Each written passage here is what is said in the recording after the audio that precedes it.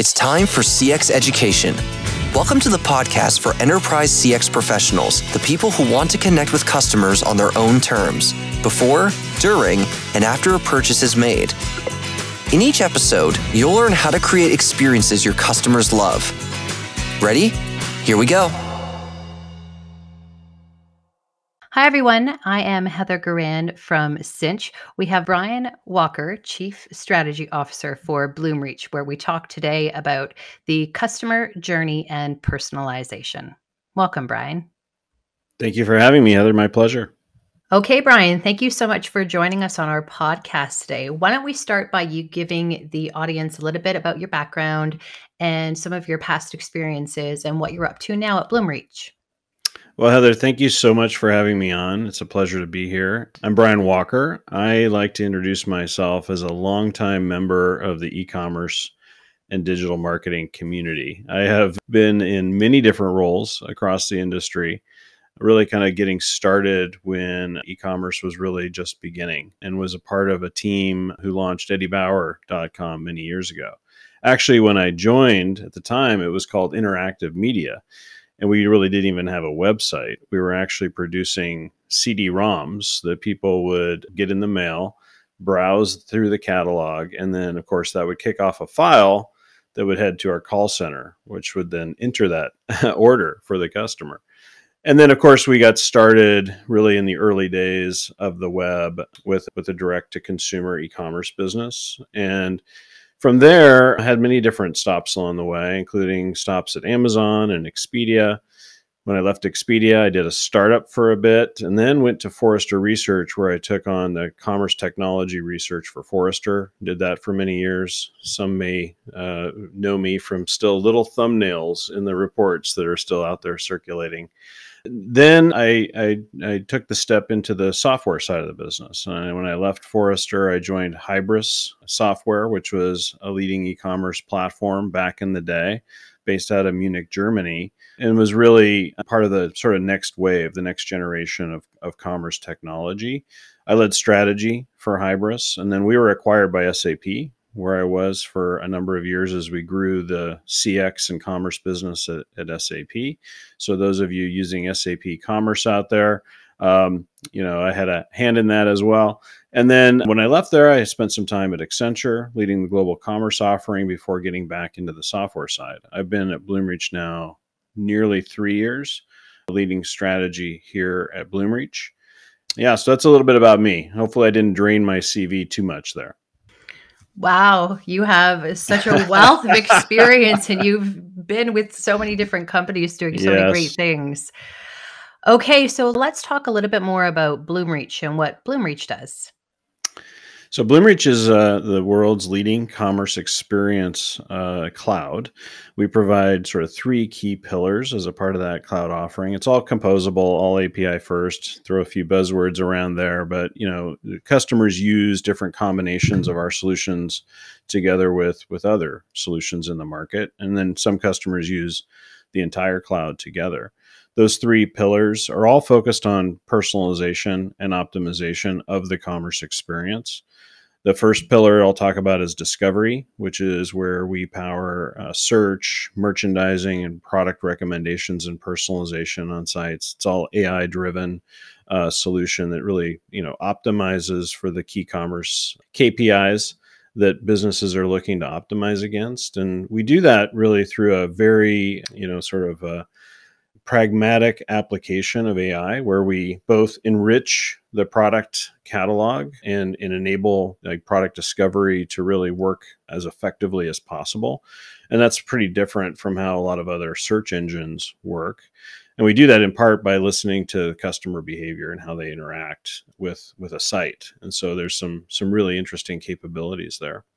The second pillar is content, and it kind of speaks for itself. It's it's the experiences that we as consumers or B2B buyers, you know, are interacting with. We we power the the, the, the, sites and applications of customers with the content solution. And again, are doing targeting and personalization through that product as well.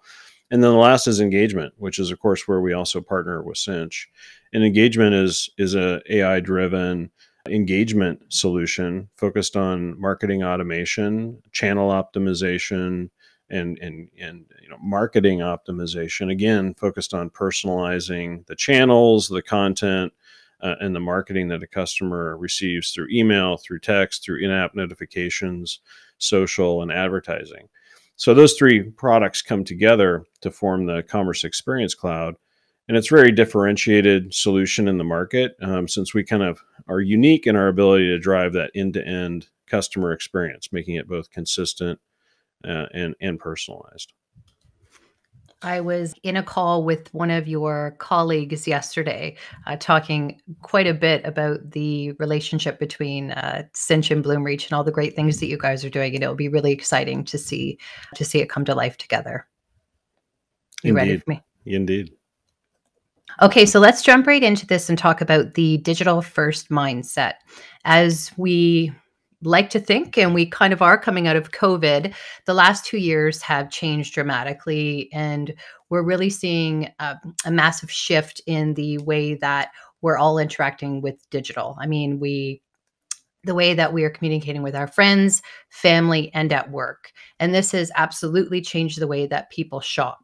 So, based on your experiences and the conversations you're having, what are retailers talking about and what are the biggest struggles that they're seeing today?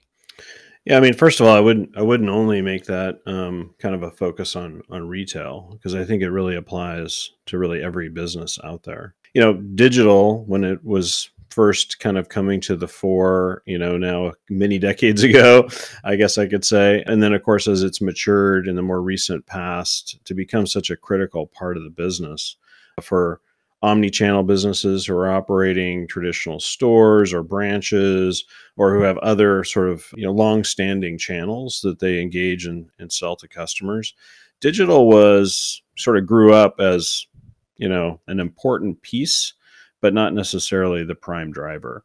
And, and in fact e-commerce really sort of sort of started as an order entry vehicle not unlike the story i told with kind of how i got my start um, in the business.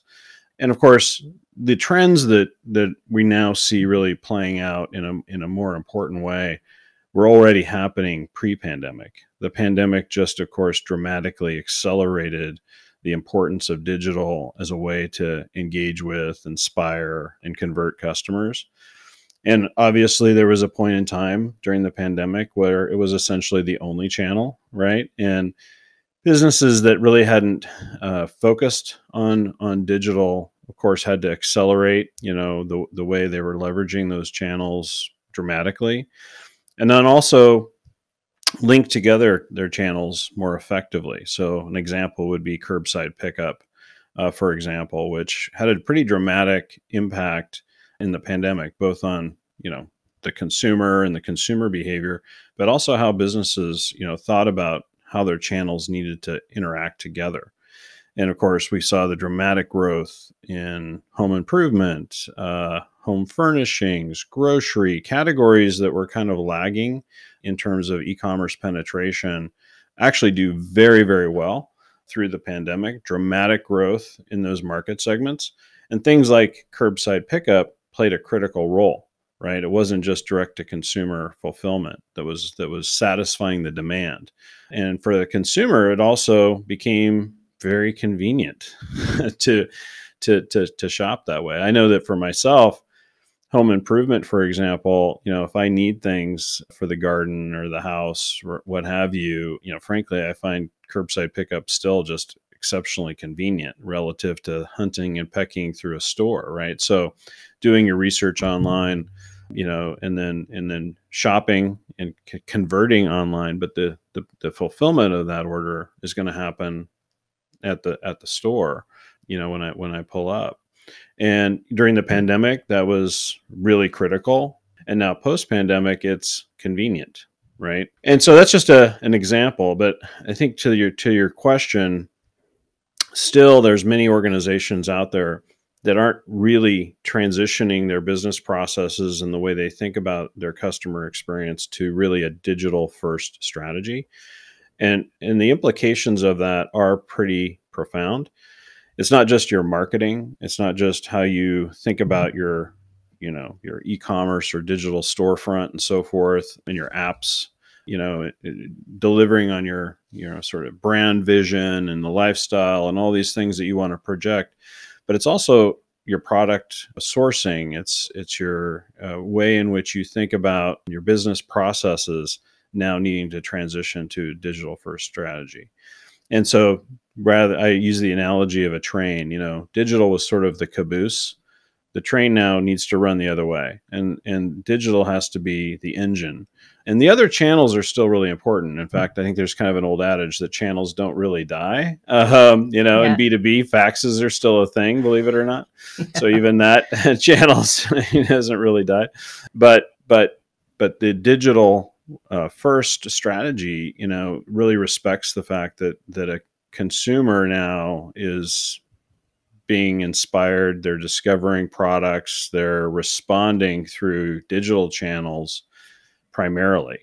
And the other channels now need to complement it versus everything being store focused, for example. Interesting. I am absolutely going to steal your analogy. I hope you don't mind. so I'm not sure. I'm not sure it's an original analogy by me either. So I think it's open source. okay, sounds good to me. So, based on that, what does this mean for uh, acquiring new customers? And how does the digital experience that you offer impact the relationships built? Yeah, I think it's we're really also going through a very fundamental shift in marketing strategies. And I think the pandemic also contributed to that, in addition to changes in data privacy protection and you know deprecation of third party cookies and you know app opt-ins and all these changes that are that are being driven by uh, the big platform providers like Apple and Google and so forth as well as regulations like GDPR and CCPA and so forth but during the pandemic every digital business was growing you know everyone was kind of responding to this shift in demand now we see that customer acquisition has become a lot more expensive number 1 and number two, a lot less effective. And there's really been a, a pretty profound shift kind of over the last few years, a combination of those factors kind of propelling it, a shift toward really a more sustainable marketing model, which is focused on the customer relationship. And some would call that retention marketing uh, or customer relationship marketing, which is really about personalization and, you know, using right channel, right offer, and engaging with the customer in order to from a marketing perspective you know keep your your file healthy and reactivate those customers. And you know retail math would show pretty quickly that you know if you're able to to do that effectively you know your marketing costs your customer lifetime value and and and the costs associated with with marketing to your customers will be a lot healthier as well. And it's a lot more sustainable. You know, pre-pandemic, kind of in a little different, you know, period, customer acquisition costs were actually pretty moderate in, in terms of the digital channels. And retargeting was like an effective, somewhat effective strategy. Although I think now we realize that maybe it was more flawed than many marketers believed. And so this there has been this profound shift. Now, I think it's important to recognize that for established businesses with, you know, kind of a you know a substantial number of customers and so forth that pivot makes sense um, and it doesn't mean that you're going to limit your customer acquisition you know dramatically. It's still important but the emphasis and the focus and the investments are going now more into you know leveraging your customer data more effectively personalizing and activating those customers that you've already you know acquired more effectively right? And and marketing to them more effectively as a result of that. Customer acquisition obviously if you're a smaller business if you're a younger brand or what have you it's become really challenging now to to see the same kind of results from customer acquisition spend because the costs have gone up dramatically and the effectiveness of those strategies has also changed and so we're really in an interesting point in time where where that you know many marketers are still adjusting, I would say, to, to that profound shift. Bloomreach, we're very much focused on enabling our customers to optimize the experience and optimize the marketing and the marketing channels that they're using to reach their existing customers. So, you know, there's certainly ways in which we support customer acquisition and and you know targeting customers effectively through those acquisition channels, leveraging our platform. But really, our focus is in ensuring that our clients are maximizing, you know, the the customers that they've already acquired and serving them in a more effective way through really all of their channels. Let's talk about that for a second. What type of data and information can you pull into your platform? Well, Bloomreach is kind of unique in that we both have a very robust customer data platform, but also we have this very uh, rich set of product data that I mentioned earlier. So we're kind of unique, and that's what gives us a leg up when it comes to driving personalization, because we really believe it's the combination of those things where um, you're able to more effectively, you know, personalize the experiences you're delivering to customers. So to answer your question on the customer data side, right? It's almost every event and every interaction you have with a customer through your digital channels that we're able to pull into the platform and then, you know, use that to create the so-called single view of customer. Everything orients around the customer, you know, and we create a very rich set of attribution and data and we're able to do processing on that data to even enrich it further some of it can be what we would call zero party data. This is data that the customer is actually very willing to provide. You know, if you're if you're doing things like surveys or you're asking customers kind of explicitly to respond and, and indicate interests and so forth, right? That's that's zero party data. And that's actually a very like important component to personalization, right? It's not just always inferring the customer's interests. You can also ask them, right? Yep. But obviously, there's a huge amount of data to also be gained through like the, all those implicit signals and the ways customers are interacting, time of day, channel, offer, and then how they're navigating in in in browsing and shopping your sites and apps. Of course, also comes into play. So we bring all that data together to create that single view of customer. And then we pair that with our rich understanding of the products to to enable that level of personalization. And that plays out across again all of your marketing and experience channels. Okay thank you. So myself coming from a big data big data background the question that i have for you that you know is asked of me when is it too much data? Yeah, I think you know it's separating the signal from the noise that's really important, right? Lots of data, major investments in data lakes and so forth over the last number of years, and I think those were in some cases really important steps for businesses to take. Bloomreach, we actually integrate to those big data lakes and so forth. But what we're really focused on is the data that's that's actually important for you to serve and market to your customer more effectively. And we do a lot of processing on that data, right? Um, in order in order to do that.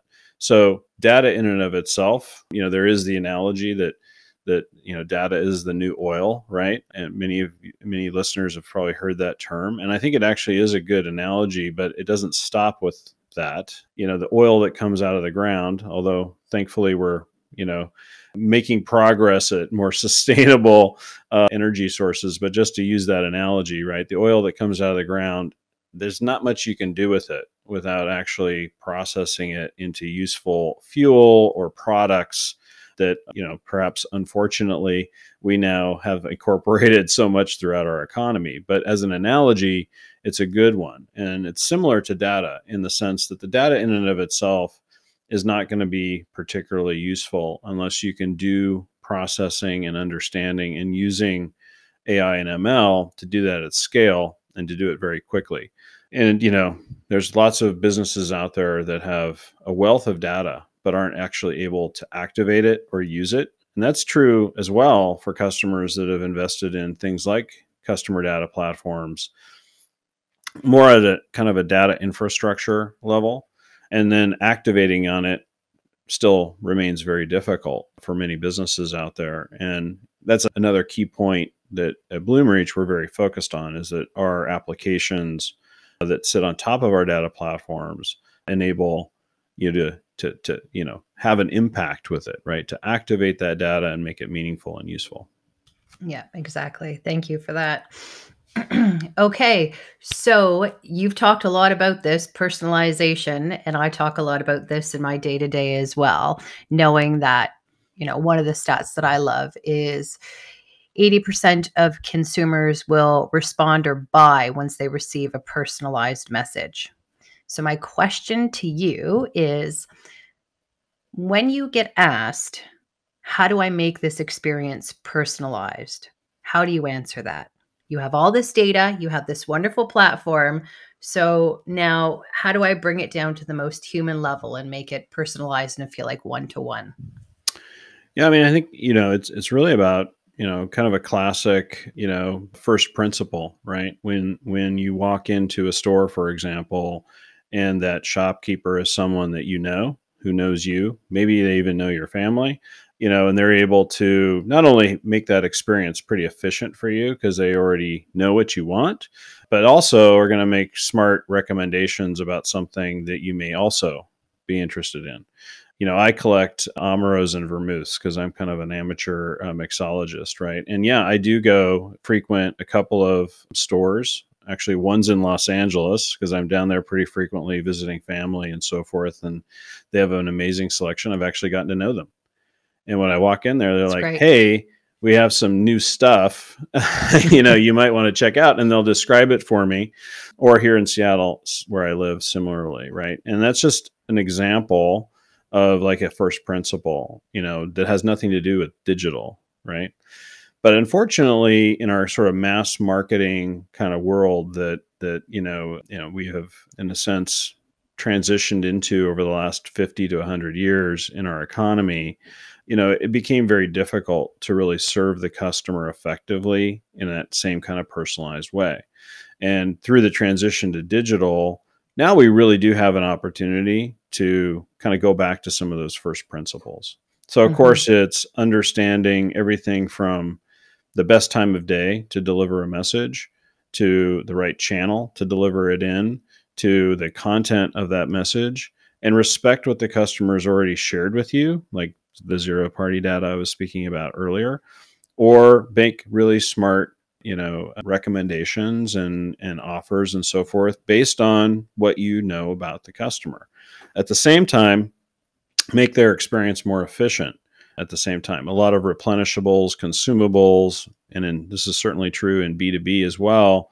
It's as much about efficiency as it is about, you know, trying to upsell or cross sell mm-hmm. a customer and I think it's important to think of it that way too, because personalization can sound like we're leveraging data and we're being kind of creepy and we're trying to kind of hide in the shadows and and somehow trick, you know, play a trick. That's not really, you know, at the core of it, right? If we really think about it as delivering a better service to the customer, making their experience efficient, making it relevant, making it contextual, and in some cases, you know, my shopping journey may be quite different from what I was doing before. Maybe in this shopping journey, I'm shopping for a gift or an occasion or something like that.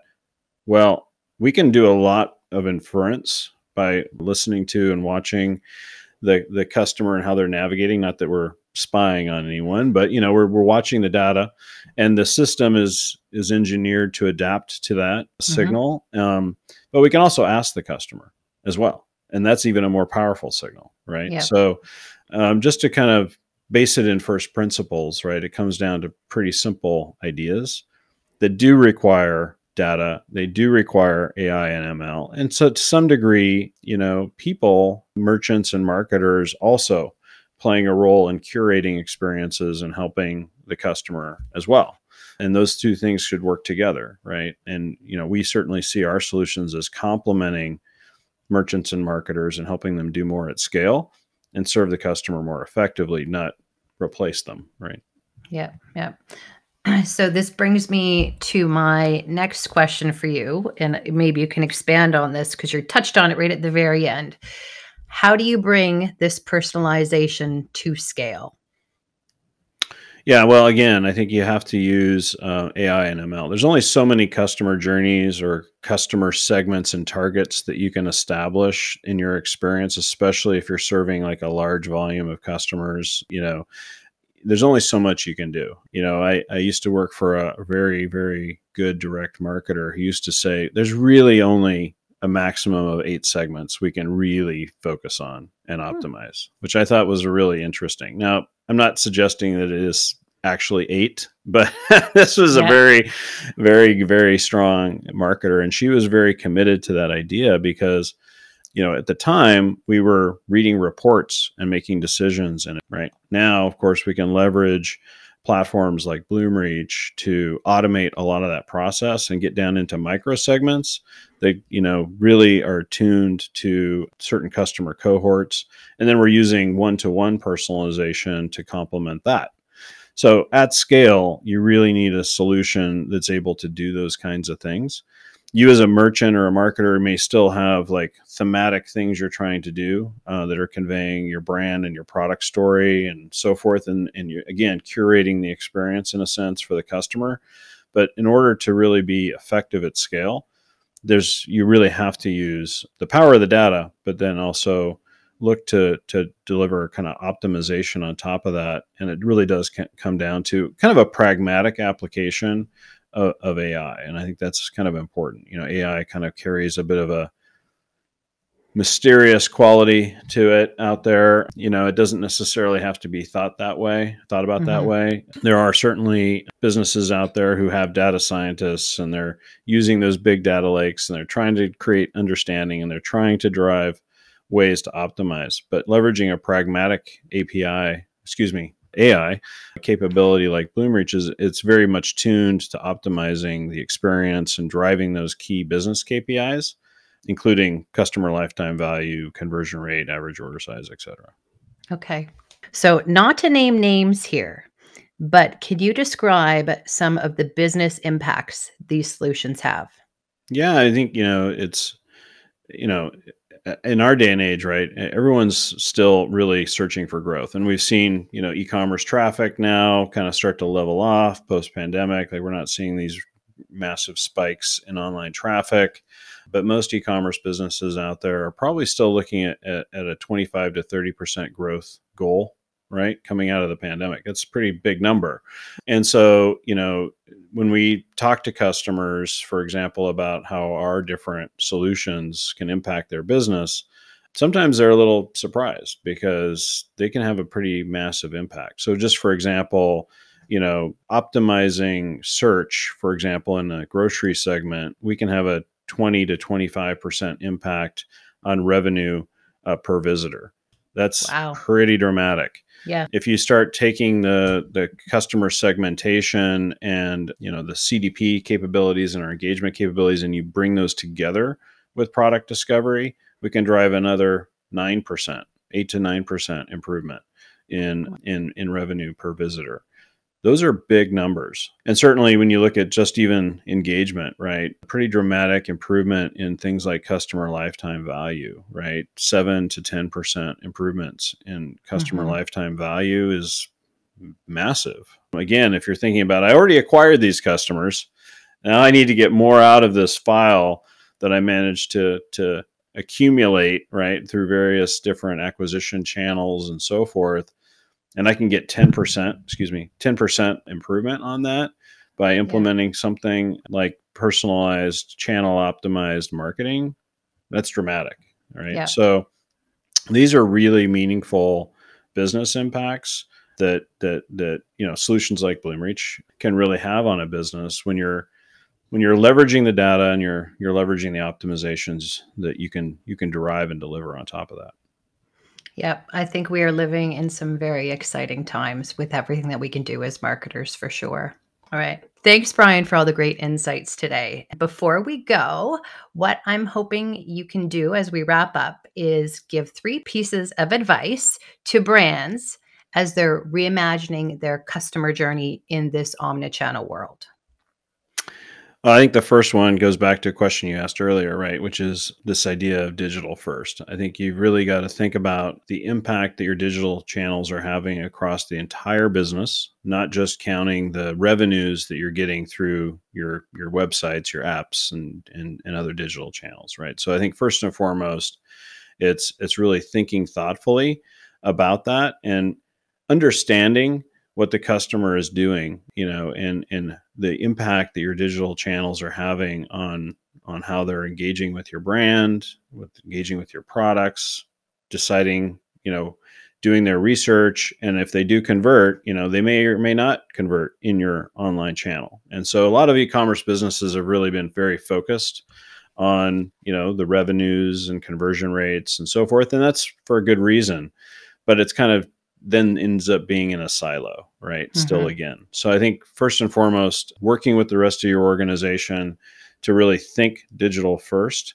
And then, as I said earlier, sometimes that may have some impact even on your business processes and how you think about everything from your merchandising strategies to customer support strategies, et cetera, as well. Yeah. So I think that's number one. Number two, more short term, more pragmatic, is test, test, test you know the the tools that we have today enable that uh, and enable it at scale.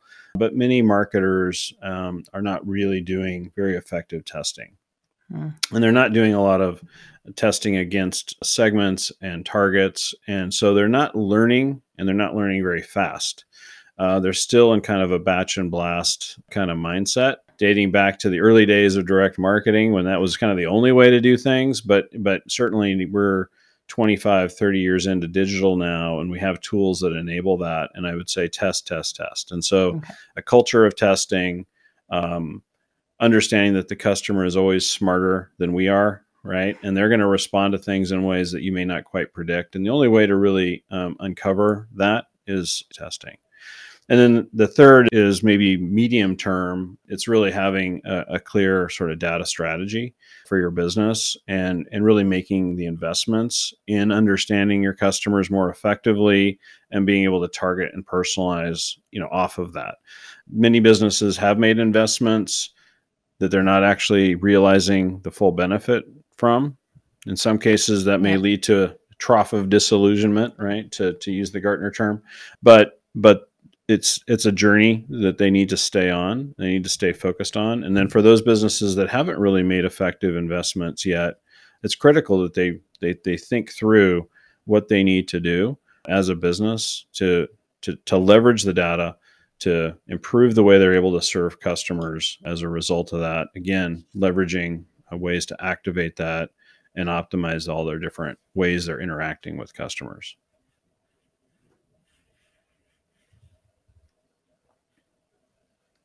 Okay.